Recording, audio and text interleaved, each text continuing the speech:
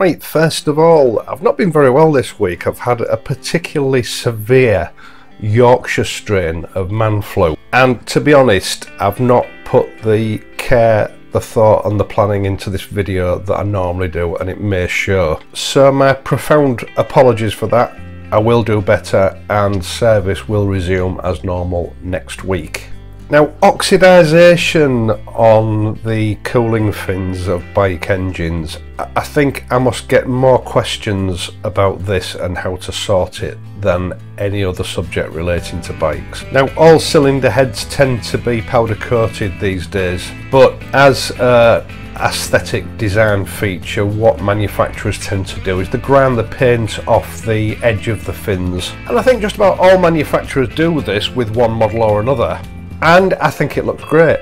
But they don't, and in actual fact, they can't really put anything on the end of those fins to protect them from the elements. Now, as you know, aluminium doesn't rust as such, but it does oxidise. And if you've not been following a regime of protecting your engine with some sort of maintenance spray, whether it be double TT or GT85. This will be the inevitable result on most bikes. Now, my T120, the fins are pristine because I do look after them, but the T100, unfortunately, although it's spent most of its life in a garage in a dryish environment, the telltale signs of oxidisation on those fins is well and truly showing itself. Now, this isn't the worst that I've ever seen, but if it's left unattended and you don't do anything about it, the inevitable result of this will be that it will get underneath the powder coating on the side of those fins and it will start to lift it all up. It'll start flaking off in big chunks in due course. And on really, really bad examples, I've even seen the fins erode, with notable portions of them simply disintegrating and falling away. So you do need to keep on top of it.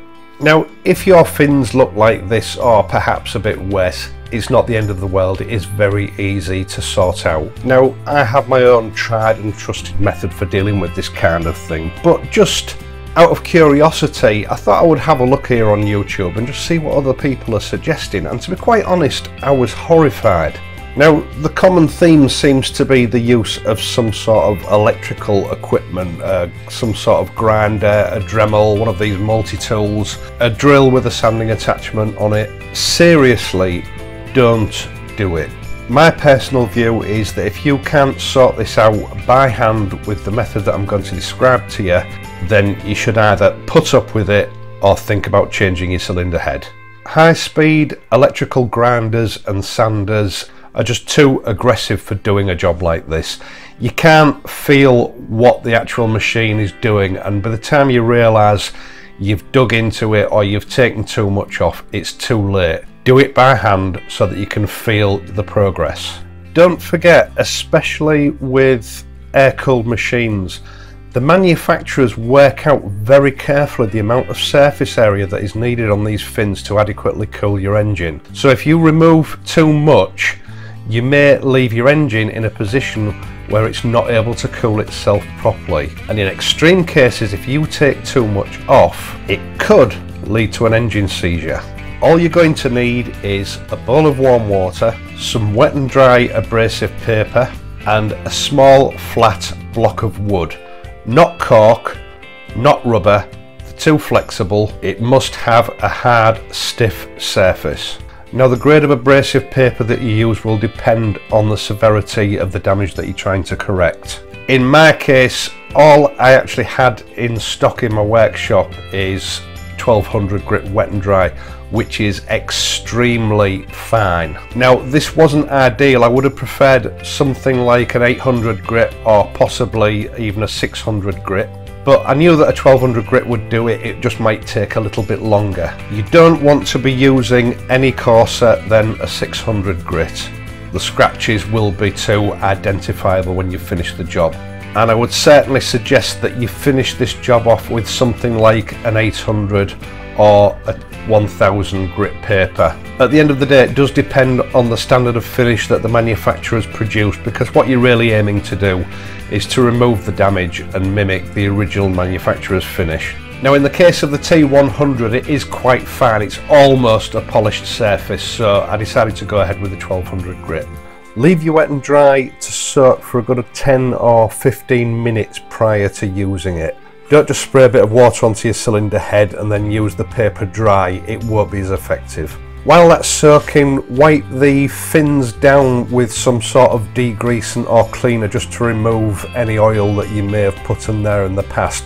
Obviously this will work as a lubricant and it will stop the paper from cutting. I just used some Silcolene chain and brake cleaner. The reason I use that rather than anything else is because it evaporates, um, you don't have to rinse it off with water. Now once that's all done and your paper's well soaked, wrap the paper around your piece of wood and get to work on the end of those fins. You don't need to put a tremendous amount of pressure on it but you do need to be firm and just work the paper on the block backwards and forwards along the edges of the fins. Now be very careful here not to slip or get too carried away and start rubbing it into areas that you don't want scratching. And by that I mean things like oil lines, your exhaust headers, and you definitely don't want to get it in between the fins. Now just keep at it and periodically dry it off with a piece of cloth or a workshop wipe just to check how your progress is coming along. You don't want to be removing any more metal than you absolutely have to. Now I know a lot of people are going to think this is too much effort and there must be a quicker way of doing it with some sort of machine but seriously it's just not worth it. I actually timed the left hand side of this cylinder head and from start to finish it took me 19 minutes and 2 seconds. Now one thing I did notice about this cylinder head is that the edges had not been ground down very accurately and there were sort of dips along those fins so a flat block wasn't going to into them properly so once I got to a certain stage where I realised I couldn't go any further until I dealt with these areas, I simply folded the paper up several times so that it was reasonably stiff and then concentrated on those areas just using my fingers and the paper on its own. Just reasonably light strokes with the flat of your fingers. Be careful not to dig in in between the fins. Now stop regularly, wipe it off and check your work to check your progress. And if the paper starts to feel like it's not cutting anymore, refold it so that you provide yourself with a fresh piece that hasn't been used. Now one advantage of doing it this way with your fingers is that you can literally feel the areas of damage underneath through the paper. And if you do it properly, by the end of it you should end up with something looking like this. Now I can be a little bit OCD, like I said it took me under 20 minutes to do this. There are one or two areas that I think need a little bit more attention but this is 99.5% better than it was when I started. There's no doubt about it, a coarser grit paper would have made this job much easier for me. And as I've said, between a 600 and 800 grit should provide you with the ideal cutting power for a restoration job like this. Now, prevention is better than a cure, and I know that if a maintenance spray had been used on this bike from day one, I would never have had any damage here that I needed to remove. I can't stress enough that something like Double TT or GT85 used on a regular basis as part of your normal cleaning regime will go a long, long way to preserving the aesthetic appeal of your bike and preserving its residual value for you know that time when you might come to want to sell it. That's it for this week. I hope that you found this video useful and that you've enjoyed it. Thanks for watching. If you have enjoyed this video, please leave a like and subscribe. I'm back on Wednesday with the Payday Project Part 5 and if everything goes according to plan we should be fitting some new rear shock absorbers to the bike along with one or two Motone bits. So make sure you don't miss it. Until then ride carefully and I'll see you soon